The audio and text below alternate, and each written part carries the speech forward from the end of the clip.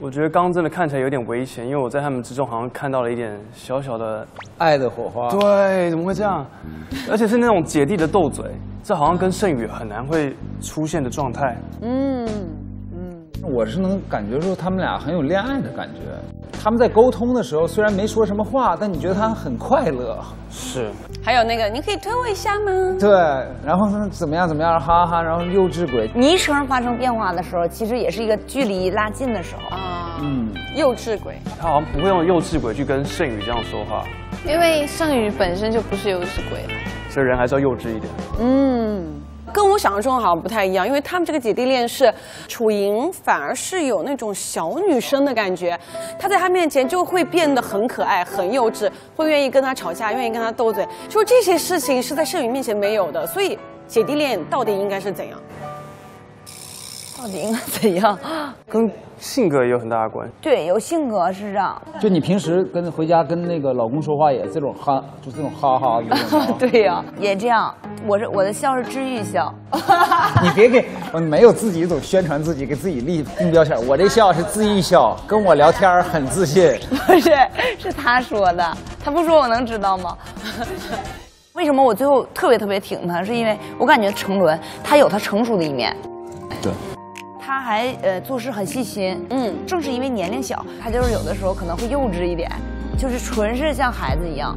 然后他那一面出来的时候，你就会自己就哎，就会感觉到哎，切换状态，，对，马上就切换状态了。所以你也会撒娇。所以你也会撒。我会啊，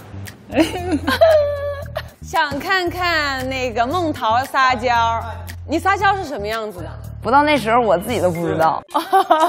大概的，你平时跟他说撒娇撒的最多的是怎样？我撒娇的话，我我牵我牵他手，我会问他，怎么问？我可以牵你的手吗？请问 又来了，我又会这样。你要试试吗？我还没问你呢。嗯，呃，怎么撒？你不是看上的又不一样，你知道吗？得到那个人儿，你知道，到那个情境。好了，我看出来了。就你平时会怎么杀？你平时但你的语气什么状态是怎样？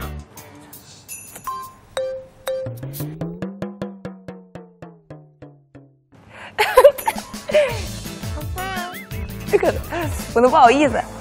哎，臭臭，我能牵你家手吗？臭臭，我能牵你家手不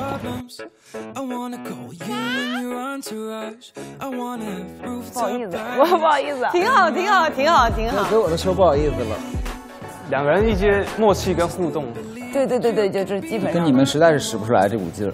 是跟你实在是使不出来这种劲儿，他是对着你撒娇的。就是怎么说呢？撒娇还同时带着一些你你来一个，我啊，乖乖，他 撒娇比较多，他可会撒娇了，我真的特别吃他那一套。就比如说他在睡午觉，然后我本来出门了，然后突然我又回家要拿一个东西，完了我就过去亲他一下，然后我就走了。过了几个小时之后，他醒了，醒了之后他就给我发信息，他说：“乖，我刚刚做梦梦到你好像回来了，你亲了我一下，是真的吗？” 对就这样，我就觉得很可爱。啊，是的什么东西？怎么啦？但其实是真的回来了。他知道我是真的回来了，但是他就故意这样说，哦他就很可爱，他就可会了，反正给我拿捏的一套一套的。撒娇女人最好命。那娜扎平时应该很会吧？我挺会撒娇，那你平时会怎么撒娇？你突然问我也不会了，我太突然 get 到那。情境你知道吗？那情境到那儿了，怎么样？